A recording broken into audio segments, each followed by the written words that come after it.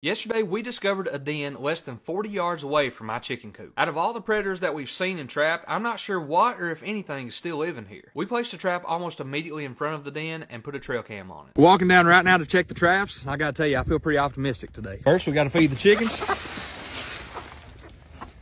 There we go. There's nothing in these first four traps. We only have the one left over here by the creek. Let's go see if we caught the mink last night. Doesn't look like we got anything in here.